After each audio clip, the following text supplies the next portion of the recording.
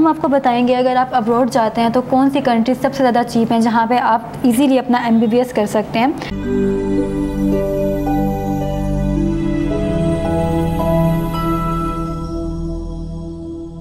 वालेकुम I am Noor from twelve consultants उम्मीद है आप सब खैरियत से होंगे। आज की इस वीडियो में हम उन स्टूडेंट्स के लिए एमबीबीएस से रिलेटेड चीपेस्ट कंट्रीज़ को डिस्कस करेंगे जो अब्रॉड जाके एम करना चाहते हैं। आज हम आपको बताएँगे, अगर आप अब्रॉड जाते हैं तो कौन सी कंट्रीज़ सबसे ज़्यादा चीप हैं जहाँ पे आप इजीली अपना एमबीबीएस कर सकते हैं। इनमें कुछ कंट्रीज़ आ जाती हैं जिनके बारे में हम आपसे आज बात करेंगे। नंबर फाइव पे है इटली इटली बहुत सारे स्टूडेंट्स के लिए ड्रीम डेस्टिनेशन होती है। बहुत सारे स्टूडेंट्स चाहते हैं कि हम इटली जाएँ और वहाँ जाके अपनी स्टडीज़ कंटिन्यू करें। स्पेशली एमबीबीएस के लिए बहुत से स्टूडेंट्स इटली में जाना चाहते हैं क्योंकि वहाँ के एजुकेशनल स्टैंडर्ड्स काफ़ी ज़्यादा अच्छे हैं।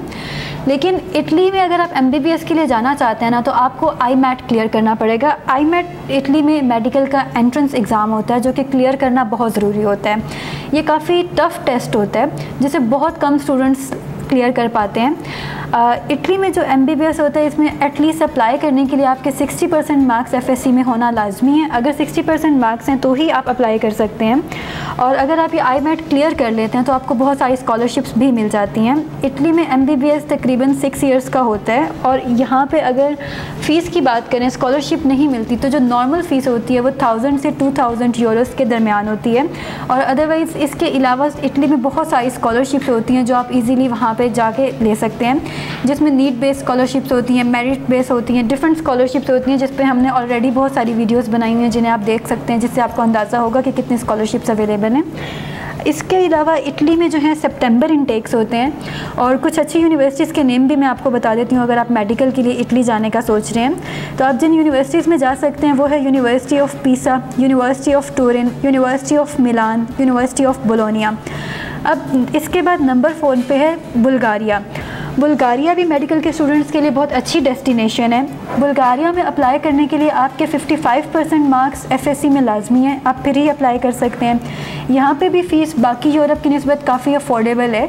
यहाँ पे फ़ीस की जो रेशो है वो तकरीबन 7500 से 9000 डॉलर पर ईयर तक होती है। यहाँ पे M B B S six years का होता है और बुल्गारिया में एडमिशन के लिए आपको आइल्स करने की ज़रूरत भी नहीं है और कोई एंट्रेंस एग्ज़ाम भी नहीं होता, जबकि अक्टूबर इनटेक्स होते हैं बुल्गारिया में। और जो कुछ यूनिवर्सिटीज़ हैं जिनमें आप ले सकते हैं, अच्छी यूनिवर्सिटीज़ और अफोर्डेबल यूनिवर्सिटीज़ उनमें आ जाती हैं Sofia medical universities Varna medical university Pleven medical university अब इसके बाद नंबर थ्री पे है जॉर्जिया जॉर्जिया में भी अब एडमिशन अप्लाई करने के लिए अगर आपके 55 परसेंट मार्क्स हैं तो आप अप्लाई कर सकते हैं। यहाँ पे फ़ीस की रेशो जो है, वो तकरीबन 5000 से 8000 डॉलर पर ईयर के दरमियान होती है। सिक्स ईयर्स का एमडी होता है यहाँ पर। और यहाँ पे भी आपको किसी भी किस्म के एंट्रेंस एग्ज़ाम या आइल्स की ज़रूरत नहीं है, आप अपना एडमिशन अप्लाई कर सकते हैं। यहाँ पे जो अच्छी यूनिवर्सिटीज़ हैं जिनमें आप अप्लाई कर सकते हैं, इनमें आ जाती हैं Alte university David Tvildiani medical university new vision university university of Georgia ये कुछ अच्छी यूनिवर्सिटीज़ हैं जिसमें आप जब सर्च करेंगे मेडिकल के लिए तो आपके काफ़ी हेल्पफुल होंगी, आप इनमें अप्लाई कर सकते हैं। इसके बाद आ जाता है रोमानिया नंबर टू पे है रोमानिया रोमानिया भी बहुत ही ज़्यादा अफोर्डेबल है, लेकिन अगर आप रोमानिया में एडमिशन लेना चाहते हैं तो आपके एटलीस्ट सेवेंटी परसेंट मार्क्स होना लाजमी है। सेवेंटी परसेंट से बिलो मार्क्स पे आप यहाँ पे एडमिशन अप्लाई नहीं कर सकते हैं। और जो आपकी फ़ीस है, वो तकरीबन फाइव थाउज़ेंड से six thousand euros per year तक होती है।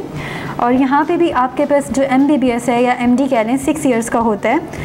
और यहाँ पे भी आपको किसी भी किस्म के टेस्ट की ज़रूरत नहीं है। एंट्रेंस एग्ज़ाम के बगैर आप इजीली यहाँ पे एडमिशन अपना अप्लाई कर सकते हैं। और यहाँ पे जो यूनिवर्सिटीज़ हैं जिनमें आप एडमिशन ले सकते हैं, वो है यूनिवर्सिटी ऑफ़ ओरादिया और ओवीजीएस यूनिवर्सिटी इन यूनिवर्सिटीज़ में आप अप्लाई करेंगे तो ये आपके लिए काफ़ी बेनिफिशियल रहेगा।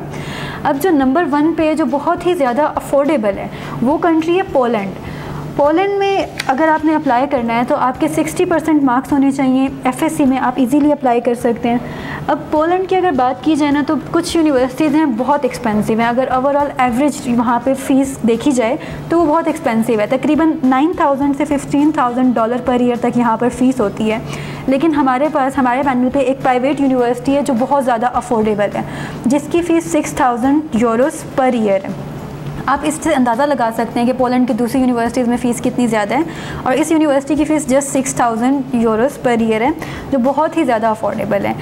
अब कुछ यूनिवर्सिटीज़ हैं जिनमें आप अप्लाई कर सकते हैं पोलैंड की, जो कि अफोर्डेबल हैं, जो मैंने आपको प्रीवियसली रेंज बताई है nine thousand to fifteen thousand dollar उस रेंज में भी कुछ यूनिवर्सिटीज़ आती हैं और जो हमारी यूनिवर्सिटी वो भी बहुत बेहतरीन यूनिवर्सिटी है। आप इसमें अप्लाई कर सकते हैं तो मैं आपको इन यूनिवर्सिटीज़ के नेम भी बता देती हूँ। लेकिन यहाँ पर भी अप्लाई करने के लिए ना, आपका जो एम है वो भी सिक्स ईयर्स का होगा और आपके सिक्सटी परसेंट मार्क्स पर आप अप्लाई कर सकते हैं। एंट्रेंस एग्ज़ाम की भी कोई ज़रूरत नहीं है। और यूनिवर्सिटी आ जाती है Wroclaw medical university medical university of Silesia, international European university. In universities में आप पोलैंड में अप्लाई कर सकते हैं और अपना मेडिकल में करियर परस्यू कर सकते हैं। जितनी भी आज की वीडियो में मैंने आपको कंट्रीज़ बताई हैं ना, ये सब इन्फॉर्मेशन के लिए बताई गई हैं। इनमें से हमारे पास जो एमबीबीएस के लिए अवेलेबल है, वो सिर्फ़ पोलैंड है। अगर आप पोलैंड में एमबीबीएस में आप एडमिशन लेना चाहते हैं तो हमारे दिए गए नंबर्स पे कांटेक्ट कर सकते हैं और अपना एडमिशन कंफर्म कर सकते हैं। ऐसी बहुत सारी वीडियोस देखने के लिए हमारे चैनल को सब्सक्राइब करें। अपना ख्याल रखिएगा। अल्लाह हाफिज़।